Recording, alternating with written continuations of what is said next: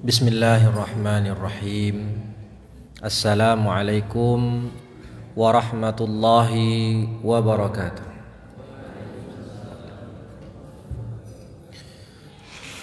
الحمد لله وكفى والصلاة والسلام على النبي المصطفى الذي لا ينطق عن الهوى إن هو إلا وحي يوحى وعلى آله أهل الصدق والوفاء أما بعد.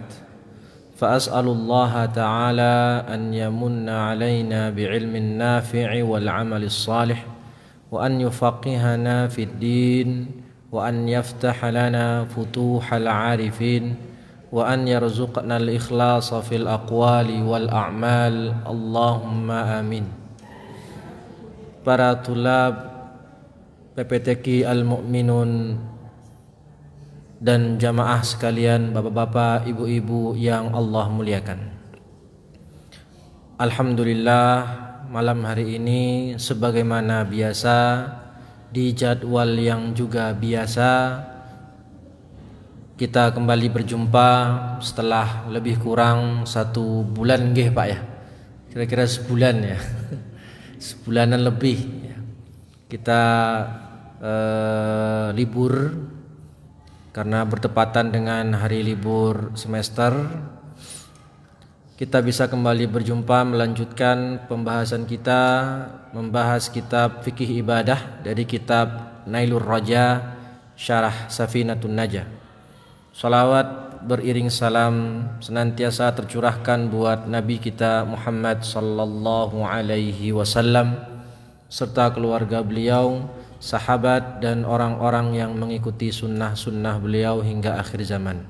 Amin, amin, ya rabbal alamin. Masya Allah, kita punya santri termuda ini. Masya Allah. Berapa usianya dek? oh Masya Allah, 9 tahun. Ya, muka-muka baru nih. Bakir sama Fatih muka-muka lama. Ini yang baru, baru, baru. Nah, ini siapa namanya Mas?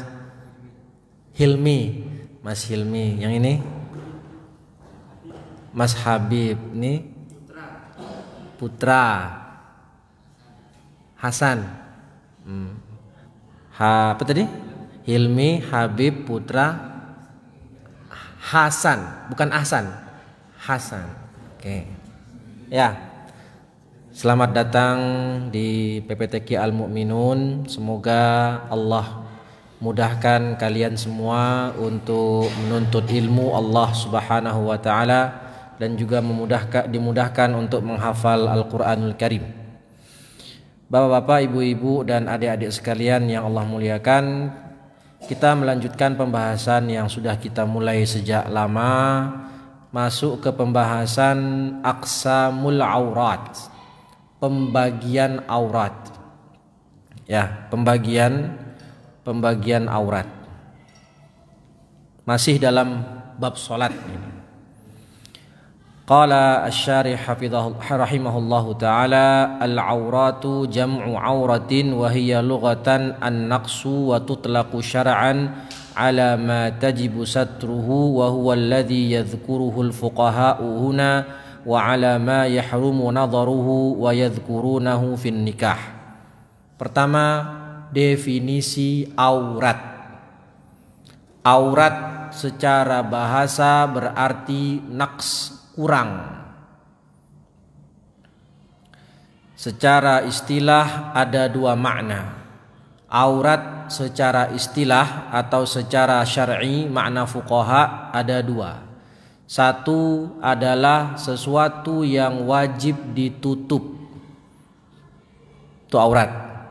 Satu, segala sesuatu yang wajib ditutup. Dua,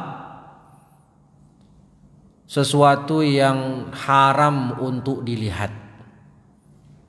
Jadi ada dua definisi aurat. Sesuatu yang wajib ditutup dan yang tidak boleh dilihat. Dan yang dibahas di sini adalah definisi yang pertama yaitu sesuatu yang harus ditutup. karena berkaitan dengan syarat sah solat adalah menutup aurat. Jadi saat solat ada bagian-bagian tubuh yang harus ditutup yang haram untuk tersingkap atau terlihat karena akan membatalkan solat. Wa qad dzakara al-musannif ba'dahu istitradan wa mimma lam yadhkuruhu. Tapi di sini musannif yaitu uh, penulis kitab Safinatun Najah mengatakan definisi yang kedua yaitu aurat adalah sesuatu yang haram dilihat itu disebutkan di sini beberapa secara istitrad yaitu secara uh, di luar pembahasan karena berkaitan dengan pembahasan yang dibahas. Dan di antaranya adalah ya jami'ul jami'u badanir rajul bin nisbati lin nisa'il ajanib fa innahu yahrumu nadharuhu alaihin. Seluruh badan laki-laki haram dilihat oleh perempuan. Seluruh badan laki-laki haram dilihat oleh wanita yang bukan mahramnya seluruhnya. Seluruhnya Ustaz seluruhnya. Rambut wajah betis seluruhnya haram untuk dilihat kaum wanita yang bukan mahram.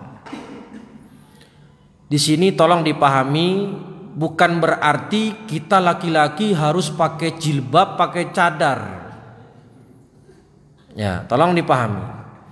Loh, katanya nggak boleh dilihat Ustadz. Katanya seluruh badan laki-laki haram dilihat wanita. Iya, wanita tidak boleh melihat ke tubuh laki-laki tanpa hajat. Ya, tanpa hajat. Tapi bukan berarti laki-laki wajib untuk menutup seluruh tubuhnya. Karena aurat laki-laki itu mabaina surah warukbah antara pusar dan lutut. Tapi tidak boleh bagi wanita untuk memandang laki-laki karena diperintahkan godul basor menundukkan pandangan. Ya. Wal ma'na anna al-awrat allati bi'tibari al-tahdid al-mukhtalif bi ikhtilaf al-ashkhas wal ahwal arba'atu aqsam. Nah, aurat-aurat seseorang di depan lawan jenisnya baik itu mahram maupun tidak kalau di sini dikatakan yang mahram eh, yang tidak mahram pertama auratur rajul mutlaqan wal amah fis salah jenis aurat yang pertama adalah aurat laki-laki dan budak wanita dalam solat. Jadi nanti dibedakan aurat ketika solat dan aurat di luar solat. Aurat laki-laki dan budak perempuan di dalam solat ma baina surah warukbah antara pusar dan lutut di dalam solat. Maksudnya apa auratur rajuli al wajib alaihi satruha fi kulli halin minal ahwal ay fi salati wa kharijiha bi hudurin nisa'il ajnabiyat wa adamihi wal amah al wajib 'alaiha satruha li sihhati shalah wa hiya ma baina surrah war rukbah. Aurat laki-laki yang wajib ditutup di setiap kondisi, baik dalam salat maupun di luar salat, yang artinya bagian yang wajib ditutup.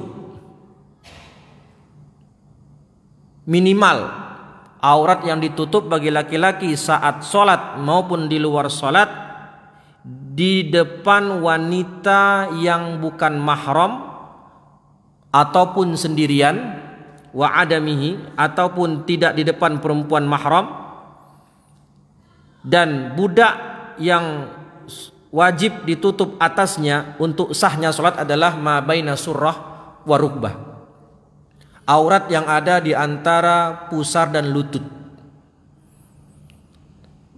Bukan berarti kita sholat meskipun mentang-mentang auratnya cuman dari bawah di antara pusat dan lutut saja lalu sholat nggak pakai atasan. Dadanya kelihatan ya pakai celana basket yang betisnya kelihatan. Bukan begitu. Bagian yang wajib yang paling minimal ditutup itu mabaina surah warukbah antara pusar dan lutut. Yang mana kalau ada yang terbuka di situ akan membatalkan sholat. Ya, akan membatalkan sholat. Berarti kalau ada orang pakai celana apa? Celana yang agak melorot, terus bajunya jangkis, pas ketika ruku atau sujud kelihatan celengannya itu gimana sholatnya? Hmm? Sholatnya batal apa enggak? Batal. Batal. Terus orang yang di belakang tadi yang melihat kasih tahu, eh tadi ente sholat kelihatan itu aurat. Ulang sholatnya. Karena batas minimal aurat yang wajib ditutup antara pusar dan lutut. Begitu juga dengan wanita eh, budak perempuan antara pusar dan lutut. Artinya kalau budak perempuan sholat tidak pakai mukena, rambutnya kelihatan, ya budak perempuan. Kalau sholat tidak pakai mukena, rambutnya kelihatan, sholatnya sah. Karena aurat wanita budak itu dalam sholat mabaina surah warukbah sama kayak laki-laki. Walau salat al-amatu bihadrati ajnabiyyin waqtasarat ala satri ma dzukir sahhat salatuha. Kalau budak perempuan tadi salat hanya menutup bagian antara pusat dan lutut saja, salatnya dihitung sah. Meskipun di depannya di dekatnya ada laki-laki asing. Budak perempuan salat dan hanya menutup yang wajib saja yaitu antara pusar dan lutut saja saat sholat. Dan di sana ada laki-laki asing sholat si budak sah tapi berdosa. Kenapa? Wa azimat bikashfi ma yahrumu nadharuhu alal ajnabi berdosa kenapa karena ada bagian yang tidak boleh dilihat oleh laki-laki jadi budak tersebut memang yang wajib ditutup adalah mabaina surah warukbah antara pusat dan lutut saja budak perempuan. Tapi kalau ada laki-laki yang melihat wajahnya atau melihat badannya maka dia tahu laki-laki itu melihat wajib dia tutup. Tidak boleh dia buka. Meskipun secara sholat sah sholatnya tapi berdosa karena tidak menutup bagian tubuh dan dia tahu ada laki-laki asing yang melihatnya. Sama kayak perempuan yang merdeka, perempuan merdeka apa auratnya? Perempuan merdeka. Nanti ada dibahas. Perempuan merdeka seperti sekarang tidak ada budak, alhamdulillah. Perempuan yang merdeka auratnya seluruh badan kecuali wajah dan kedua tangan, telapak tangan. Itu dalam sholat. Tetapi kalau si wanita itu tahu ada laki-laki di masjid itu, laki-laki asing, maka dia diwajibkan menutup wajahnya. Karena dikhawatirkan atau si perempuan itu tahu kalau si laki-laki akan melihat wajahnya, maka dia wajib menutup wajahnya meskipun dalam sholat. Padahal dalam sholat auratnya hanya eh, yang boleh terbuka adalah wajah dan kedua tangan wa satru ma la yatimul wajib illa bihi fa wa huwa juz'un minas surrah wa juz'un minar rukbah. Lah, yang aurat adalah antara pusar dan lutut. Sedangkan lutut dan pusar itu sendiri bukan aurat. Saya ulang, yang aurat adalah antara pusar dan lutut. Sedangkan lutut dan pusar bukan aurat. Tetapi tetap wajib ditutup sebagian karena supaya aurat yang diwajib ditutup tadi tertutup secara sempurna. Sebagaimana kaidah malayatimul wajib illa bihi fahuwa wajib. Itu contohnya kayak berwudu. Wudu sampai mana wudu? Kalau wudu e, basuh tangan sampai siku. Tapi bisa nggak kalian ngepasin? Oh, ambil air ngepasin banget sampai siku. Bisa nggak? Tidak bisa. Jadi supaya anggota wudhu yang di tangan ini terbasuh semua, mau nggak mau kita pasti melebihkan basuhan agak ke a, ke atas supaya apa? Supaya bagian yang wajib tadi terbasuh. Begitu pula aurat, aurat antara pusar dan lutut. Pusar dan lutut sendiri tidak aurat, tapi wajib ditutup sebagian supaya seluruh yang wajib ditutup itu tertutup secara sempurna. Oke, ini satu, yaitu aurat tatkala sholat bagi laki-laki dan budak perempuan. Kedua, aurat perempuan merdeka dalam sholat. Apa auratnya? Jami'u badaniha masi wal wajhi wal kaffain wal ma'na anna tsani min aqsamil aurah auratul hurrah al wajibu 'alaiha satruha li sihhatis shalah wa hiya jami'u badaniha Nah, sekarang aurat wanita merdeka di dalam salat adalah seluruh badannya kecuali wajah dan telapak tangan. Telapak tangan di sini maksudnya baik yang di dalam maupun yang di luar. Telapak tangan mana? Sampai sini, sampai pergelangan. Berarti kalau ada wanita takbir Allah, ah, mukenanya melorot. Kelihatan ininya. Maka auratnya terbuka kalau tidak segera ditutup membatalkan sholat. Kemudian wajah, sudah saya ulang berkali-kali. Wajah itu mana wajah? Hmm? Dari tumbuhnya rambut di atas sampai bagian di bawah dagu, ram, uh, kuping kanan sampai kuping kiri. Itu semua wajah. Maka wanita kalau sholat yang boleh terbuka wajah. Lah, kalau ketika dia pakai mukena kelihatan di bawah dagunya sedikit di sini. Nah, kelihatan.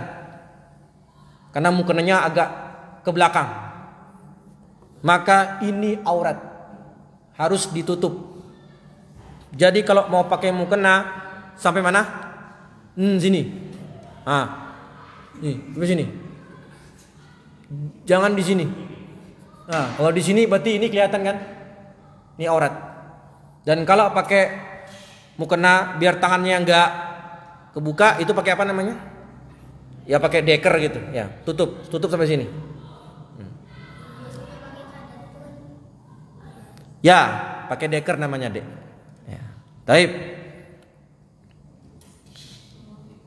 Hatta batinil qadam, termasuk aurat telapak kaki. Ya, telapak kaki itu aurat dalam salat bagi perempuan. Kecuali wajah dan kedua tangan, zahrahuma wa batinuhuma, bagian dalam maupun bagian luar telapak tangan sampai ku'ain, sampai ila ku'aihima, sampai pergelangan. Amma huma ay al-Qur'an itu wajib ditutup juga karena kaedah ma la yatimul wajib illa bihi fahuwa wajib. Jadi meskipun cuma sampai sini boleh dibuka tapi bagian pergelangan tetap wajib ditutup supaya tidak ada aurat yang kelihatan dari bawah kuain pergelangan tangan ada namanya khunsa. Khunsa itu dia dibilang laki-laki, nggak laki-laki, dibilang perempuan, nggak perempuan. Apa berarti itu? Ya. Khunsa itu kalau dibilang laki-laki, enggak, dibilang perempuan, enggak. Banci, bukan. Banci itu laki-laki. Transgender, bukan. Tapi Khunsa adalah orang yang memiliki alat kelamin ganda dan dua-duanya berfungsi. Yang kelamin wanitanya berfungsi, kelamin laki-lakinya berfungsi. Sehingga kita tidak bisa menghukumi dia ini laki-laki atau perempuan. Itu khunsa namanya. Dan memang jarang. Hampir tidak ada. Tapi kalau ada orang namanya khunsa, dia jenisnya khunsa, auratnya bagaimana Ustadz? Ikut aurat cowok dalam sholat atau ikut aurat cewek. Paham ya? Tadi kan sudah bilang nih, cowok auratnya antara pusar dan lutut dalam sholat. Perempuan merdeka seluruh tubuh kecuali wajah dan telapak tangan. Khunsa tidak laki-laki, tidak perempuan. Jadi punya kelamin ganda. Maka auratnya ikut mana? Ikut perempuan. Ikut wanita alias seluruh tubuh kecuali wajah dan telapak tangan. Tiga, aurat perempuan merdeka dan budak perempuan di depan laki-laki asing. Ini pembahasannya di luar sholat. Ah, aurat perempuan baik perempuan merdeka maupun perempuan budak di depan laki-laki yang bukan mahram itu seluruh badan. Wahum man laisa bainahuma wa bainahum mahramiyah binasabin aw rada'in aw musaharah. Mahram itu siapa mahram kita? Ah, siapa mahram kita? Mahram kita itu bisa karena tiga sebab. Karena nasab, karena pernikahan, dan karena sepersusuan. Jadi selain tiga sebab ini dia bukan mahram. Berarti aurat wanita di depan laki-laki yang bukan mahram itu seluruh badan tanpa kecuali. Dan ini pendapat yang mu'tamad dalam mazhab Syafi'i atau pendapat resmi mazhab Syafi'i. Maka kalau ada wanita bercadar berarti dia mengamalkan pendapat resmi mazhab Syafi'i. Jangan dibully. Jangan dibilang ninja. Jangan dibilang teroris. Karena ada dan Indonesia kan negara yang bermadhab syafi'i. Maka kalau ada perempuan bercadar, dia sedang mengamalkan pendapat resmi madhab syafi'i. Saya katakan resmi kenapa? Karena ada khilaf memang. Ada ulama syafi'iyah mengatakan aurat wanita di depan laki-laki asing itu seluruh badan kecuali wajah dan kedua tangan. Sama kayak aurat mereka saat sholat. Sama. Tapi pendapat resmi mazhab Syafi'i bisa dicek di buku-buku kitab Syafi'i mana pun. Pendapat mu'tamad aurat wanita di depan laki-laki asing yang bukan mahram seluruh tubuh termasuk mata. Aurat. Jadi si perempuan wajib menutup seluruh tubuhnya. Lihat di sini auratnya adalah jami'ul badan hatta wajah wal kaffain seluruh badan bahkan termasuk wajah dan kedua tangan itu aurat fayajibu alaihima wajib bagi perempuan tersebut baik yang merdeka maupun perempuan budak di depan laki-laki asing di luar salat satruhu menutupnya wa yahrumu alaihim dan haram bagi laki-laki laki-laki asing melihat bagian tubuh wanita sedikit pun. Karena kita disuruh godul basor. Disuruh apa kita? Godul basor. Kalaupun ya, kalaupun ada yang mengatakan kalaupun kita ada si perempuan tadi mengambil pendapat yang mengatakan oh aurat perempuan itu di luar sholat maupun di dalam sholat adalah seluruh badan kecuali wajah telapak tangan maka laki-laki bukan berarti boleh kita melihat wajah perempuan tadi nggak boleh Meskipun bagi menurut dia wajah dan kedua tangan itu bukan aurat bagi wanita, tapi laki-laki tidak boleh mandang, tidak boleh. Kecuali kalau ada hajat seperti dalam taklim, ngajar kayak gini atau jual beli, transaksi muamalah itu diizinkan. Tapi kalau tidak ada hajat, tidak boleh kita memandang ke wajah wanita maupun tangannya. Karena kita disuruh godul basar. Tapi kalau pendapat yang utama tadi suruh badan, baik wajah dan kedua tangan itu wajib ditutup. Wadih? Jelas? Iya. Nah, sekarang saya tanya. Kamu menemukan tangan perempuan terputus. Boleh dilihat nggak?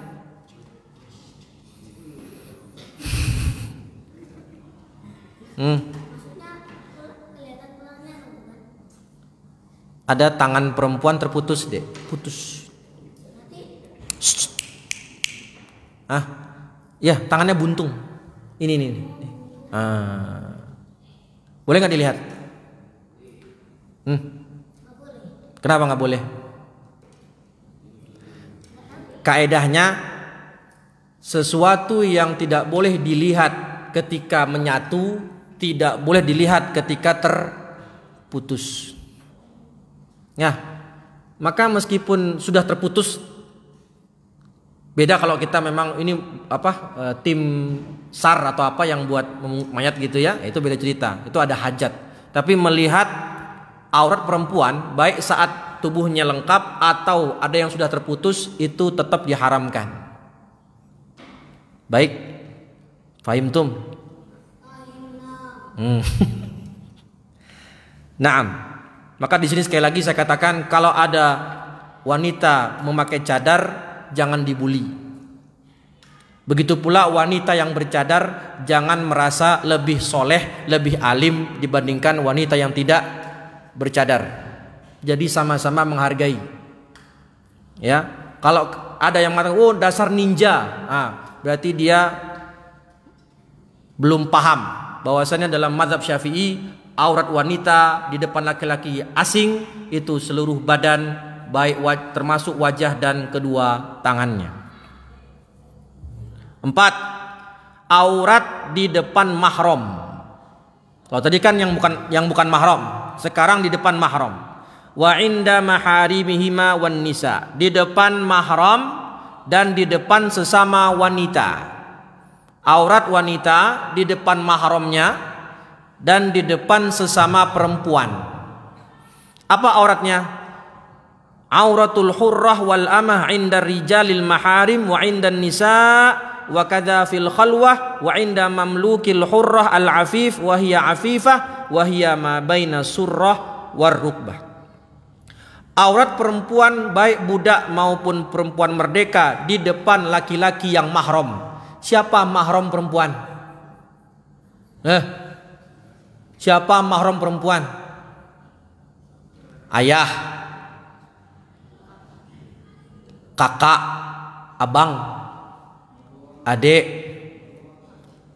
mertua, mahram. Siapa lagi? Sepupu mahram nggak sepupu? Sepupu mahram apa tidak? Tidak. Tidak mahram. Hah? Paman, saudara ayah, atau paman, saudara ibu, mahram. Ponakan, adik dari kakaknya, eh, anak dari kakaknya, ponakan kan, mahram. Lah, berarti kalau di rumah ada perempuan sudah balik, sudah dewasa, sudah umur 20 tahun. Ketika di rumah, di depan ayahnya, di depan abangnya, atau di depan adiknya, aurat yang wajib ditutup adalah antara pusat dan lutut yang wajib ditutup. Tapi bukan berarti dia boleh memperlihatkan bagian dadanya. Mohon maaf. Alias yang minimal wajib itu ditutup. Sehingga kalau di rumah dia cukup misalnya dia pakai baju rambutnya terbuka, tidak masalah. Karena di depan mahram. Ya, di depan mahram. Atau dia pakai celana agak jangkis, ah, agak jangkis, agak tinggi. Kelihatan betisnya. Boleh apa? Boleh, karena di depan ayahnya, di depan kakak laki-lakinya, mahram. Taib.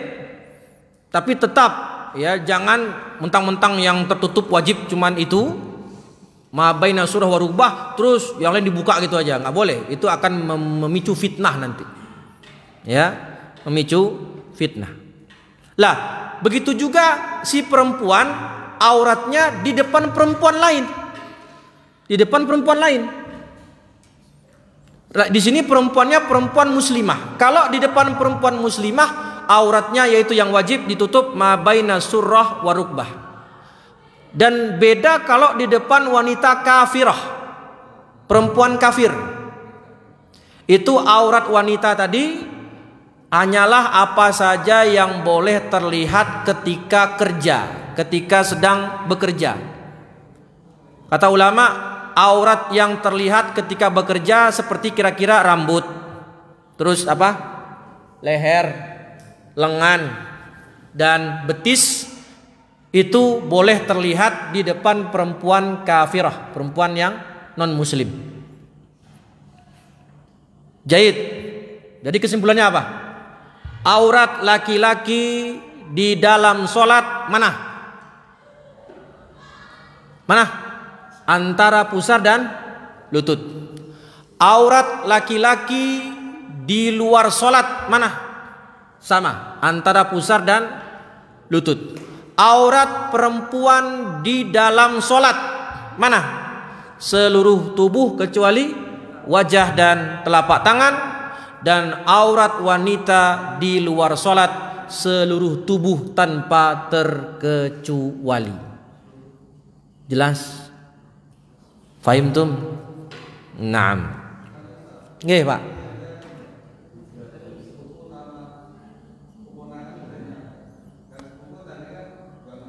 Ah. Ya, Pak. Jadi dalam Al-Quran sudah Allah sebutkan dalam surat An-Nisa atau tidak salah. Jadi mahram itu ada tiga sebab. Ada delap, tiga sebab dan total 18.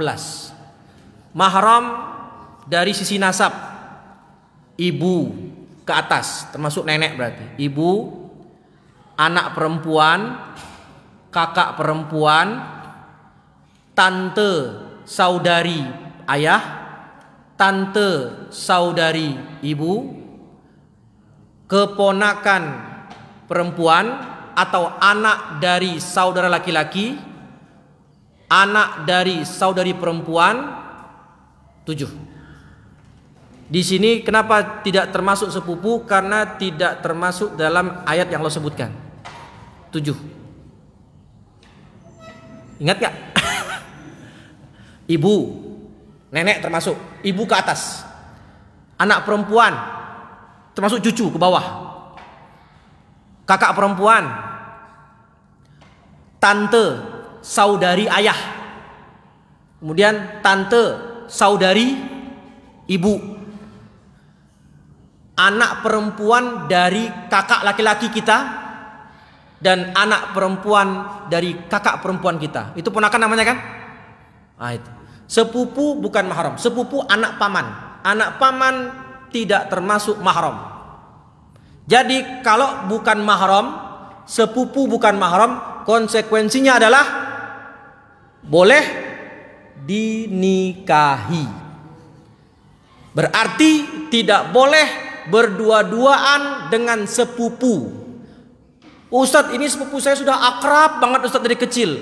Walaupun begitu. Kalau sudah balik, sudah dewasa, maka haram untuk berdua-duaan berkhulwat dengan sepupu perempuan yang laki-laki. Karena sepupu bukan mahram, karena dia wanita yang boleh atau halal untuk dinikahi. Gih Pak. Baik. Ada ya silakan nanya. Nah mantap pertanyaan bagus, masya Allah. Suara perempuan apakah aurat Ustadz? Tidak. Buktinya di zaman Nabi para sahabat bertanya sama bunda, bunda uh, Ummul Mukminin para istri-istri Nabi itu dari balik hijab. Bertanya, wahai Aisyah, wahai bunda Aisyah, apa jawabannya masalah ini? Bunda Aisyah menjawab dari balik tabir, dari balik hijab dan suaranya beliau terdengar. Sehingga di sini kita paham suara wanita bukan aurat. Yang tidak boleh adalah wanita suaranya dibikin mendayu-dayu di depan laki-laki. Ya, dibikin apa silahnya itu?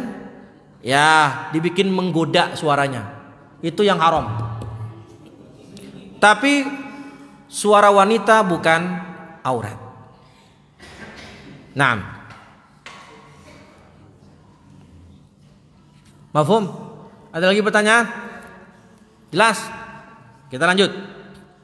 Masuk ke rukun sholat. Bismillah.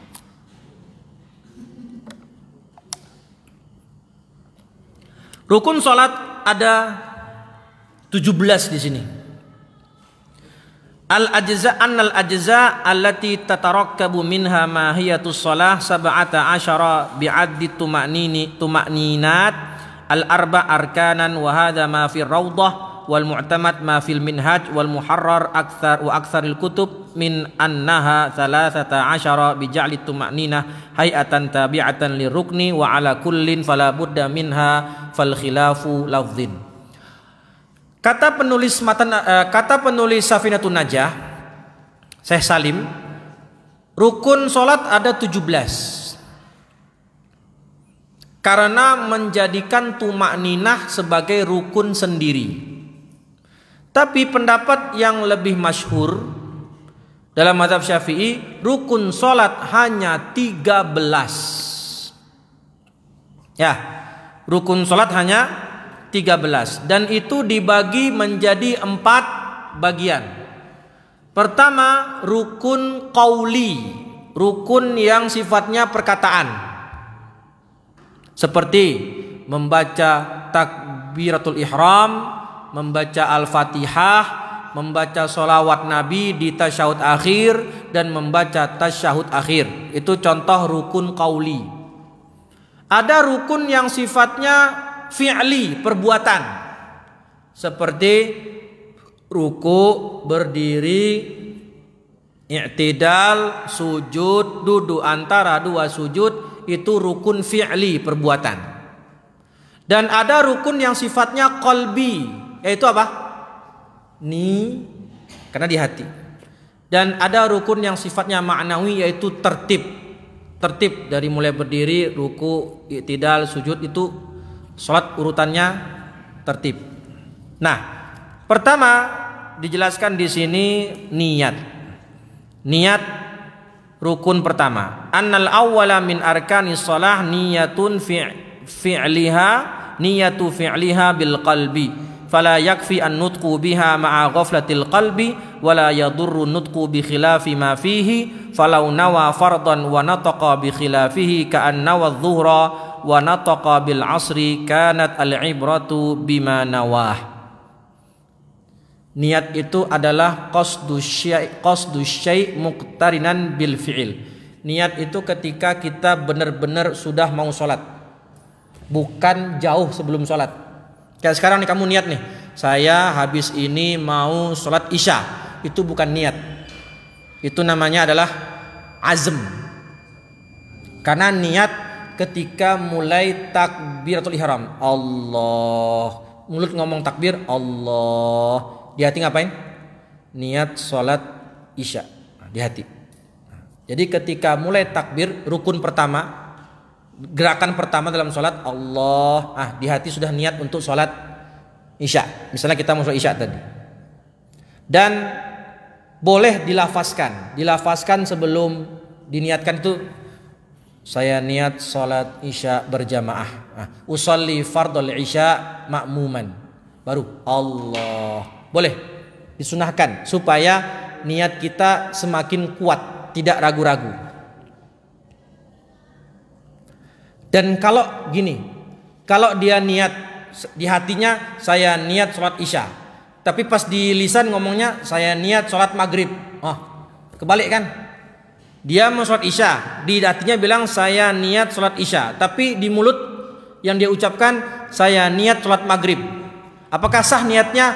Sah, karena yang dilihat adalah niat yang ada dalam hati. Karena tempat niat di mana?